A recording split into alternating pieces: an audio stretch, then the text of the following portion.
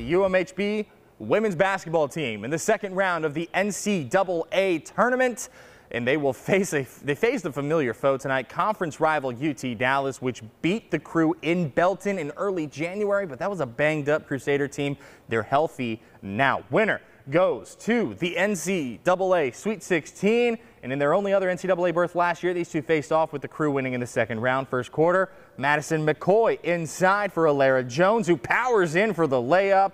Good start for UMHB. Then Brooke Elliott on the wing works it up, drives it, gets it to fall off the glass, and the crew are on top. UTD up four after one. We go to the second. Alicia Blackwell drives, kicks McCoy from the corner. Got it sparking an 8-0 UMHB run to take the lead. The crew are headed back to the Sweet 16, winning 64-48. Um, I think that just shows the tenacity of our defense.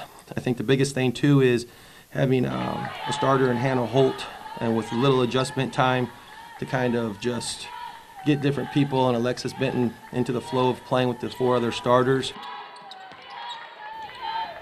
After the game tonight, Mark Morefield told us that Hannah Holt informed the team following the game she blew out multiple ligaments in her knee. Her career is unfortunately over after her injury last night. The crew will face Christopher Newport in the Sweet 16. The site will be announced tomorrow.